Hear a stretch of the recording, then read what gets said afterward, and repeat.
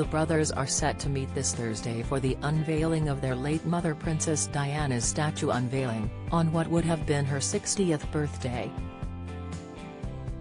Harry jetted to England yesterday and is now quarantining ahead of event with William, which a royal source said would be a very personal moment for the pair. A spokeswoman for Harry also confirmed the Duke had arrived safely at his private residence Frogmore Cottage close to the Queen's Windsor Castle home yesterday. Camilla Tominey, associate editor at The Telegraph, warned that Harry and William may only be able to put aside their differences for the event, but true forgiveness may take longer. It comes after Harry publicly spoke about having compassion for his brother who he said was trapped within the royal family. She wrote, while there is no doubt that the royal brothers will publicly set aside their differences in memory of their beloved mother, privately, a reconciliation looks unlikely. According to one well-placed source, of course they will put on a brave face for the event, like they did at the Duke of Edinburgh's funeral. They both know it is not about them but remembering the late princess. But the idea that this can all be forgiven and forgotten. It's going to take a lot longer than a couple of days.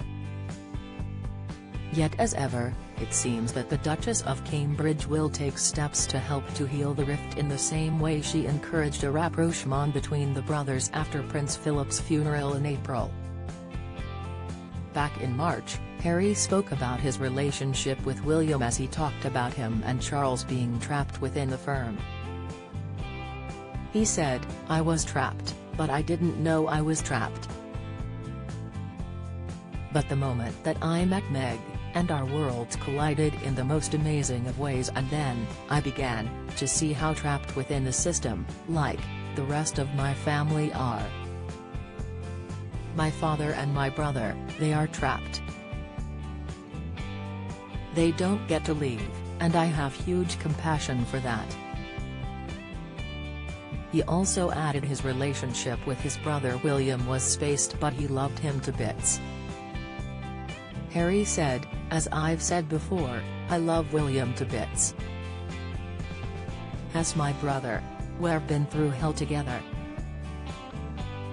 I mean, we have a shared experience. But we're on different paths.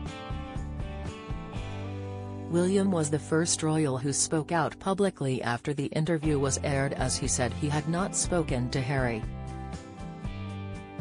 Buckingham Palace also quickly responded the Queen was saddened by their claims, but added recollections may vary.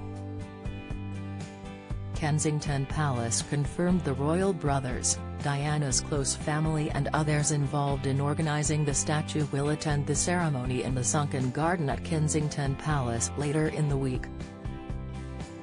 A royal source said, this is a small event and a very personal moment for the family. Plans have been scaled back due to the current COVID-19 restrictions and media arrangements reflect both the size and tone of the event.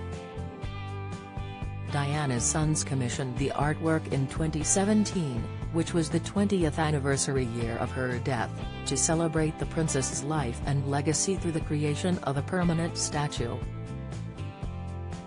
The unveiling had been delayed, mostly due to the COVID pandemic, William and Harry's troubled relationship is well documented but their mother will be their focus this week as they commemorate her life. In a statement when the project was announced, the royal brothers said, Our mother touched so many lives.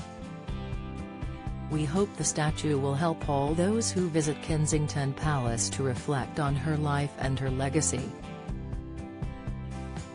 Among those attending the unveiling will be members of the statue committee, sculptor Ian Rank Broadley who created the artwork, and garden designer Pip Morrison.